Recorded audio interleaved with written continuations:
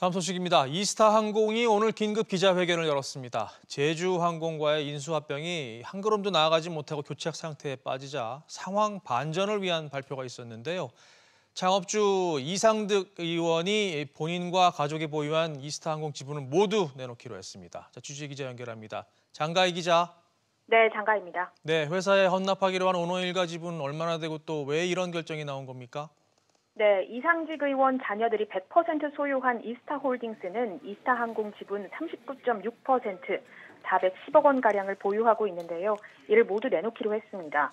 250억 원에 달하는 체불임금 해소 문제로 제주항공과 이스타항공의 인수 작업이 멈춰선 가운데 이 의원 일가를 둘러싼 각종 논란이 커지자 이 의원이 직접 입장을 내놓은 겁니다. 오늘 대독된 이상직 의원의 입장을 들어보시겠습니다.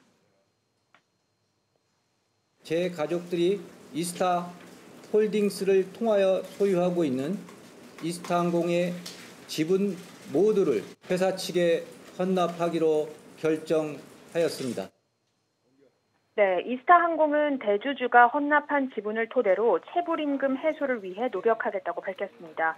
하지만 250억 원 전체를 해결할지 여부는 아직 논의해야 할 사안이라고 언급했습니다. 오늘이 원래 약속했던 이 계약 종료일이었는데 앞으로 제주항공과의 인수합병은 어떻게 되는 겁니까? 네, 최종구 이스타항공 대표는 오늘이 M&A 딜의 마지막 날이라면서 제주항공의 M&A 이행을 촉구했습니다.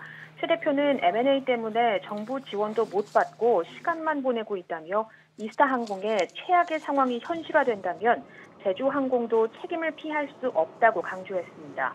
오늘 회견에 대해 제주항공은 아직까지 별다른 입장을 내놓지 않았습니다. SBS CNBC 장가입니다.